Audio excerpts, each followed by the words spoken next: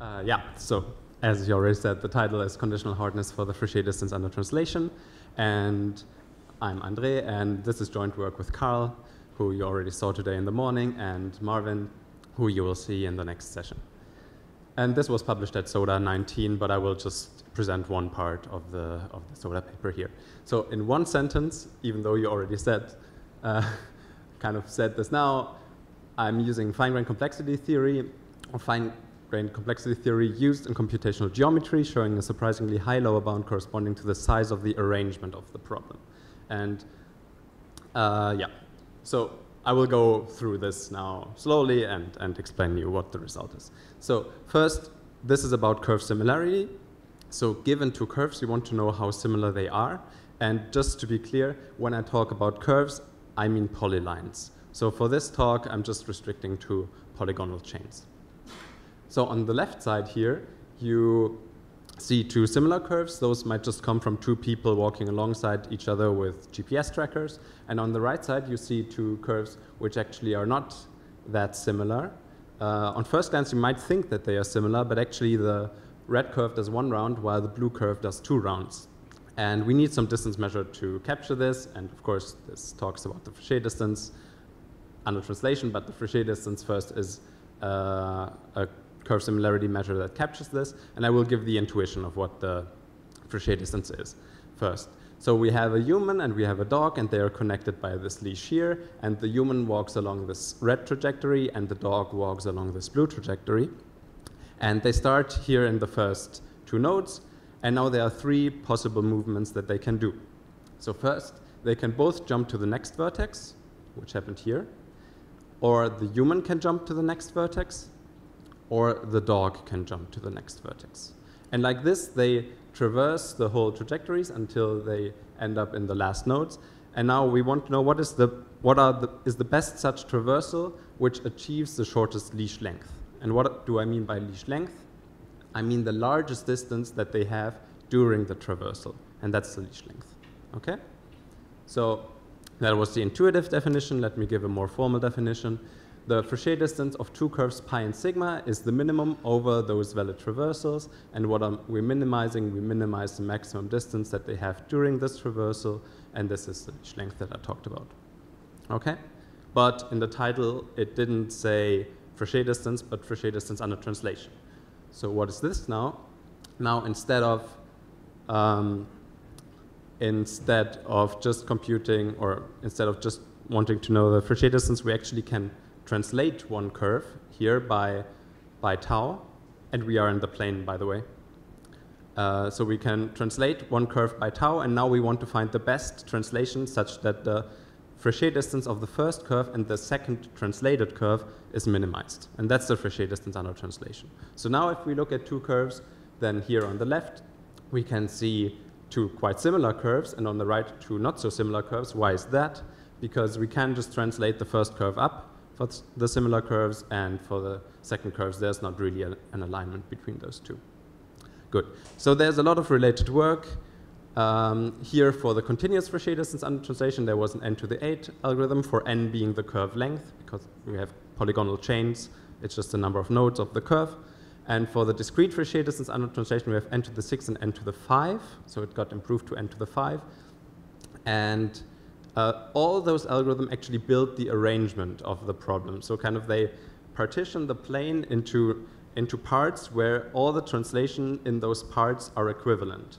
And this arrangement size is actually n to the 4, which will match our lower bound.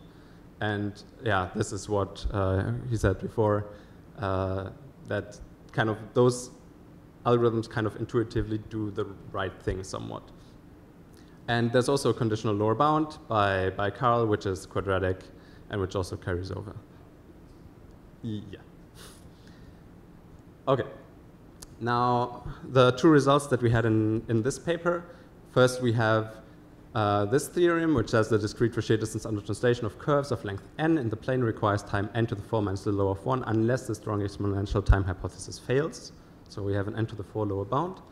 And in the same work, we actually showed that there is an algorithm which runs in time O tilde n to the 4.666. So there is still a little bit of a gap left, and this still uh, remains to be closed. And this was improved from the n to the 5 algorithm that I just mentioned. And I will focus on the lower bound because we're in a fine-grained complexity workshop. Good. So the, as I already mentioned, the Frechet distance has, an, has a quadratic lower bound via, so I didn't say it's via orthogonal vectors, but it, well, the original paper I think was from strong exponential time hypothesis, but you can also do it from, from orthogonal vectors or from satisfiability it was, but you can also do it from orthogonal vectors. And the question is, can we, can we extend this somehow? And a reduction from 4OV would actually give the desired lower bound. So I'm not sure if everyone here knows what 4OV is, so I will define it. 4OV is the following problem. Now, instead of two sets of vectors, like in OV, we have given four sets of vectors, which are binary and in d dimensions, and each set has size n. And what we want is we want four vectors such that for all dimensions there exists one of those vectors which has a zero entry. Okay, so this is kind of an extended definition of orthogonality. And the naive runtime is simply trying everything out. So n to the 4 times d. This is a naive runtime, and then the 4OV hypothesis is that there is no n to the 4 minus epsilon times poly d algorithm. And note that actually the strong exponential time hypothesis implies the 4OV hypothesis. So then we also have a reduction from SETH. Good. Now let me go through the high level ideas of, of the reduction. So I will first show the high level ideas, then I will show the reduction, and then I will show you the like a bit more details of the gadgets that we used, such that kind of in steps you can, you can understand maybe the, what the core ideas were of the reduction. So first, we, I mean, we do a reduction from 4OV to the discrete Frechet distance under translation. And so we need to somehow use the curves to choose the vectors. And we have four vectors to choose. And how we choose our vectors is via the translational dimension.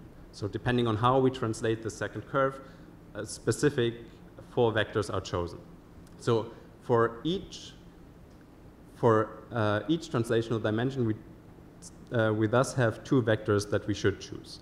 So we get something here where we have a grid, which is of size n squared times n squared. So n is the size of the, uh, the number of vectors in each set. And one cell here corresponds to a choice of those four vectors. So this is kind of how we, how we choose the vectors. And this is a picture in translational space. So in tau, tau 1, tau 2 as axis. And now if we kind of chose vectors, so intuitively, we want to check how, I mean, we want to check orthogonality of those vectors. And um, roughly how we do this is for the first curve, we check for zeros in V1 and V3, in first and third vector, and the second curve checks for zeros in V2 and V4. And how they do this is here they, so the first curve checks for zeros in V1 in, via the X translation and uh, for in V3 for via the Y translation. And this is intuitively why we get an n to the 4 lower bound. We have two curves and we have two translational dimensions. And this is why in the end we end up with n to the 4 intuitively. And then also we have to encode a logical OR because, I mean, the curves are sequential, so we have to skip certain parts of the, of the curves and to, to kind of then arrive at the right gadgets to traverse. And for this, we need an OR gadgets, and basically what we do is just we kind of, we choose parts of the curve. On one curve, we walk forward, while we stand, stay in, with the other curve, we just stay in a certain point, and then we just walk forward on the other curve until we then tra can traverse our gadget.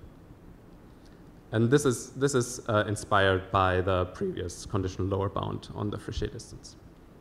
Yeah.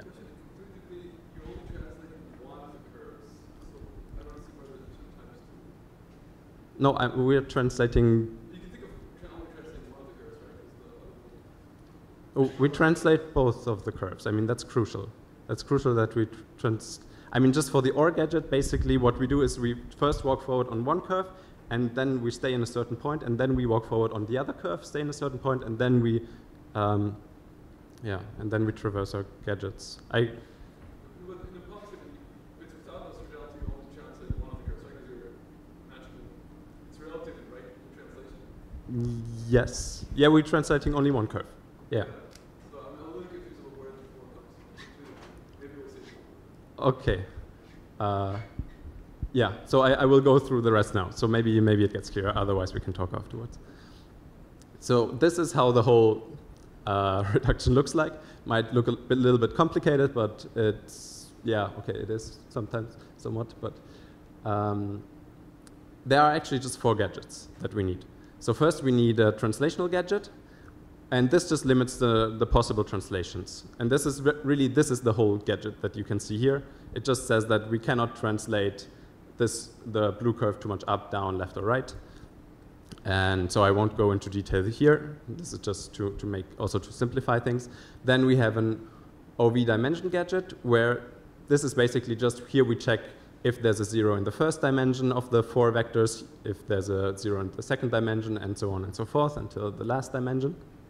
So this is also all that I'm going to show about this gadget. But then there's this OR gadget that I already mentioned, and then there's an equality gadget. So the OR gadget is uh, what I said, that basically we have to uh, kind of select the right vectors for which we have to select kind of the, the right parts of the curve to check for the zero entries.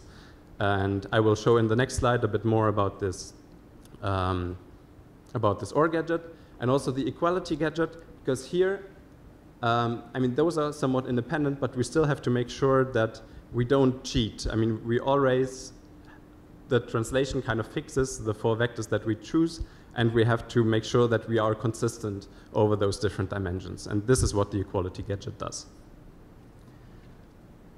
Okay, so let me now explain those uh, two gadgets. I mean, I just give a high-level overview. There's a lot of things missing, but the, the main idea for the equality gadget, so we want to make we want to have two parts of a curve. So those are parts then later of this blue part is of sigma, and this red part here is of pi.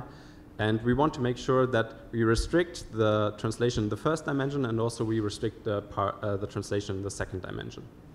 Like in the sense that we can only traverse those two curves if we have this specific translation. So here, uh, we have those two parts. So we start in those two nodes here, and then we want to end up in those two nodes. And those here are quite far. So the only way how we can traverse those is that we jump uh, simultaneously from those nodes to those nodes. Okay? And what this gives us is that here actually we can move this node here. So if we move the whole curve, we can move this node here to the right. It just gets closer to this red node here. And uh, this is fine, but we cannot really move it to the left if we choose the right, the right distance and the right uh, threshold. And therefore, we get a lower bound on our translation in the first dimension. And this depends on V1 and V2 because the curves depend on V1 and V2.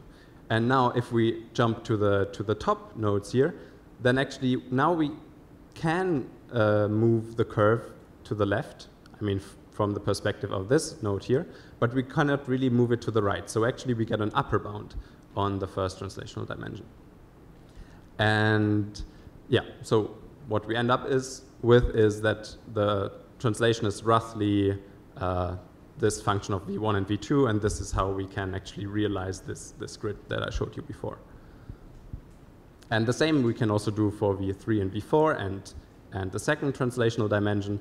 And we basically here we just traverse from this side to this side, and then we have uh, kind of the same, the same thing. The important thing is that here it's so red is here on this diagonal and also in this diag diagonal, and for blue it's the same thing.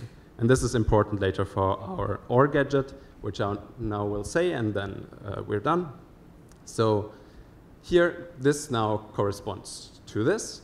And in the OR gadget, basically, uh, so what we do with those gadgets, we just insert them if, the, if there's a zero entry, such that we can only traverse any of those gadgets if there was a zero entry, basically.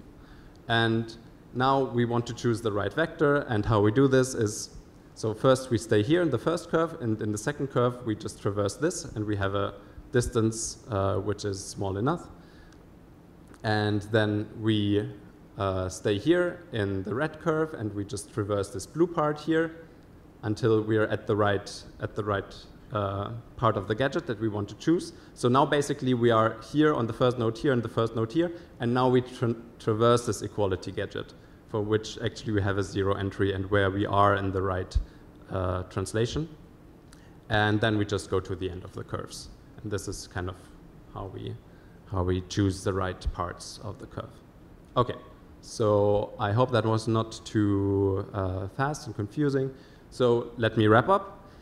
Um, we have a lower bound that comes from OV, and uh, yeah, I'm not sure how many lower bounds there are actually that come just from 4OV, which not are from a series of, of lower bounds. Um, so that, that would be interesting. If you know a lower bound which just comes from 4V and without like coming from a series of KOV, uh, you can tell me. Um, it matches the size of the arrangement, what I saw, said before. We have this n to the 4 arrangement, and actually this exactly matches our lower bound. So uh, that kind of hints at that this arrangement is indeed necessary to construct, which all of those algorithms did. And we have four choices encoded in two dimensions and two curves. Um, yes, we can talk if you if you didn't understand it yet. Uh, I can explain you later.